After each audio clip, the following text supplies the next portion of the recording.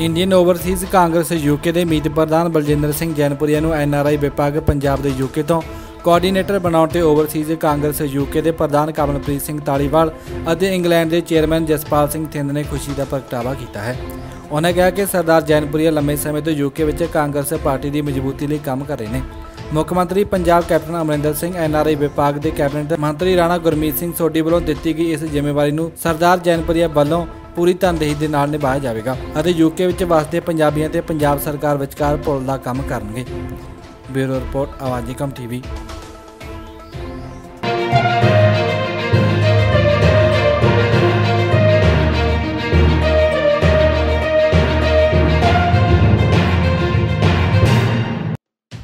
ਪ੍ਰਧਾਨ ਮੰਤਰੀ ਨਰਿੰਦਰ ਮੋਦੀ ਵੀਰਵਾਰ ਤੋਂ ਯੂਕੇ ਵਿੱਚ ਕਰਵਾਏ ਜਾਣ ਵਾਲੇ ਇੰਡੀਆ ਗਲੋਬਲ ਵੀਕ 2020 ਵਿੱਚ ਇੱਕ ਵੱਡਾ ਵਿਸ਼ਵ ਵਿਆਪੀ ਭਾਸ਼ਣ ਦੇਣਗੇ। ਪ੍ਰਧਾਨ ਮੰਤਰੀ ਦਾ ਭਾਸ਼ਣ ਭਾਰਤ ਦੇ ਵਪਾਰ ਅਤੇ ਵਿਦੇਸ਼ੀ ਨਿਵੇਸ਼ ਦੀਆਂ ਸੰਭਾਵਨਾਵਾਂ ਤੇ ਕੇਂਦਰਿਤ ਹੋਣ ਦੀ ਉਮੀਦ ਹੈ। ਇੰਡੀਆ ਇੱਕ ਗਰੁੱਪ ਦੇ ਚੇਅਰਮੈਨ ਮਨੋਜ ਲਾਡਵਾ ਨੇ ਕਿਹਾ ਕਿ ਜਿਵੇਂ ਵਿਸ਼ਵ ਕੋਵਿਡ-19 ਦੇ ਪ੍ਰਭਾਵ ਚੋਂ ਬਾਹਰ ਨਿਕਲਣ ਲਈ ਸੰਘਰਸ਼ ਕਰ ਰਿਹਾ ਹੈ, ਭਾਰਤ ਆਪਣੀ ਅਥਾਹ ਪ੍ਰਤਿਭਾ ਤਕਨੀਕੀ ਸਮਰੱਥਾ ਦੇ ਨਾਲ ਵਿਸ਼ਵ ਮਾਮਲਿਆਂ ਵਿੱਚ ਮੁੱਖ ਭੂਮਿਕਾ ਨਿਭਾ ਰਿਹਾ ਹੈ। ਉਹਨਾਂ ਕਿਹਾ ਕਿ ਮੈਨੂੰ ਪੂਰਾ ਵਿਸ਼ਵਾਸ ਹੈ ਕਿ ਭਾਰਤੀ ਪ੍ਰਧਾਨ ਮੰਤਰੀ ਦਾ ਸੰਦੇਸ਼ ਦੁਨੀਆ ਨੂੰ ਇੱਕ ਨਵੀਂ ਸ਼ੁਰੂਆਤ ਕਰਨ ਦੇ ਨਾਲ ਸੰਬੰਧਿਤ ਹੋਵੇਗਾ। ਕਰੋਨਾ ਵਾਇਰਸ ਦੀ ਮਹਾਮਾਰੀ ਦੇ ਮੱਦੇਨਜ਼ਰ ਤਿੰਨ ਦਿਨਾਂ ਦਾ ਇਹ ਸਮਾਗਮ ਆਨਲਾਈਨ ਕਰਵਾਇਆ ਜਾ ਰਿਹਾ ਹੈ। ਇਸ ਵਿੱਚ ਵਿਦੇਸ਼ ਮੰਤਰੀ ਐਸ ਜੈਸ਼ੰਕਰ, ਰੇਲ ਮੰਤਰੀ ਪਿਊਸ਼ ਗੋਇਲ, ਹਵਾਬਾਜ਼ੀ ਅਤੇ ਸ਼ਹਿਰੀ ਮਾਮਲਿਆਂ ਦੇ ਮੰਤਰੀ ਹਰਦੀਪ ਸਿੰਘ ਪੁਰੀ, ਸੂਚਨਾ ਤਕਨਾਲੋਜੀ ਮੰਤਰੀ ਸ਼ਾਮਲ ਹੋਣਗੇ।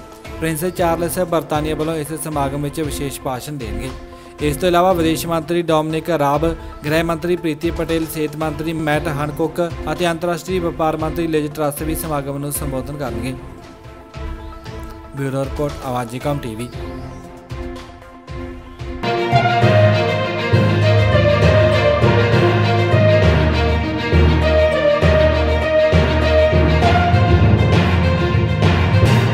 ਦੋ ਹਜ਼ਾਰ ਇੱਕੀ ਦੀ ਮਰਦਮਸ਼ੁਮਾਰੀ ਦੇ ਵਿੱਚ ਸਿੱਖਾਂ ਦੀ ਵੱਖਰੀ ਗਿਣਤੀ ਲਈ ਸਿੱਖਾਂ ਦੇ ਵੱਖਰੇ ਐਥਨਿਕ ਖਾਨੇ ਲਈ ਜੁਡੀਸ਼ੀਅਲ ਰਿਵਿਊ ਕਰਨ ਲਈ ਸਿੱਖਾਂ ਵੱਲੋਂ ਦਿੱਤੀ ਅਰਜ਼ੀ ਤੇ ਸੁਣਵਾਈ ਕਰਨ ਦੀ ਹਾਈ ਕੋਰਟ ਨੇ ਮਨਜ਼ੂਰੀ ਦੇ ਦਿੱਤੀ ਹੈ। ਸਿੱਖ ਫੈਡਰੇਸ਼ਨ ਯੂਕੇ ਦੇ ਚੇਅਰਮੈਨ ਭਾਈ ਅਮਰੀਕ ਸਿੰਘ ਗਿੱਲ ਤੇ ਸਲਾਹਕਾਰ ਦਵਿੰਦਰਜੀਤ ਸਿੰਘ ਸਿੱਧੂ ਨੇ ਦੱਸਿਆ ਕਿ ਉਹਨਾਂ ਨੂੰ ਜਸਟਿਸ ਲੂਇਸ ਵੱਲੋਂ ਆਦੇਸ਼ ਮਿਲ ਗਏ ਹਨ। ਉਹਨਾਂ ਹਰ ਪੱਖ ਤੋਂ ਸੁਣਵਾਈ ਦੀ ਆਗਿਆ ਦੇ ਦਿੱਤੀ ਹੈ ਤੇ ਇਸ ਦੇ ਨਾਲ ਹੀ ਸੀਸੀਓ ਕਰਨ ਦੀ ਵੀ ਮਨਜ਼ੂਰੀ ਦੇ ਦਿੱਤੀ ਹੈ।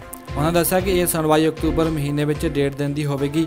ਕੋਵਿਡ-19 ਦੇ ਕਾਰਨ ਇਹ ਸੁਣਵਾਈ ਵੀਡੀਓ ਲਿੰਕ ਰਾਹੀਂ ਹੋਣ ਦੀ ਸੰਭਾਵਨਾ ਹੈ। ਇਹ ਸੁਣਵਾਈ ਲਈ ਸਰਕਾਰ ਨੂੰ ਆਪਣਾ ਪੱਖ ਰੱਖਣ ਲਈ 17 ਅਗਸਤ ਤੱਕ ਦਾ ਸਮਾਂ ਦਿੱਤਾ ਗਿਆ।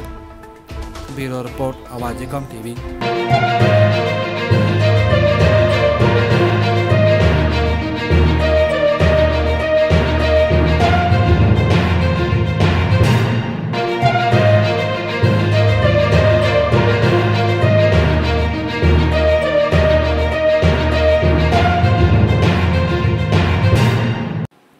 Indian overseas Congress UK ਦੇ ਮੀਤ ਪ੍ਰਧਾਨ ਬਲਜਿੰਦਰ ਸਿੰਘ ਜੈਨਪੁਰੀਆ ਨੂੰ ਐਨਆਰਆਈ ਵਿਭਾਗ ਪੰਜਾਬ ਦੇ ਯੂਕੇ ਤੋਂ ਕੋਆਰਡੀਨੇਟਰ ਬਣਾਉਣ ਤੇ ਓਵਰਸੀਜ਼ ਕਾਂਗਰਸ ਯੂਕੇ ਦੇ ਪ੍ਰਧਾਨ ਕਮਲਪ੍ਰੀਤ ਸਿੰਘ ਤਾਲੀਵਾਲ ਅਤੇ ਇੰਗਲੈਂਡ ਦੇ ਚੇਅਰਮੈਨ ਜਸਪਾਲ ਸਿੰਘ ਥਿੰਦ ਨੇ ਖੁਸ਼ੀ ਦਾ ਪ੍ਰਗਟਾਵਾ ਕੀਤਾ ਹੈ।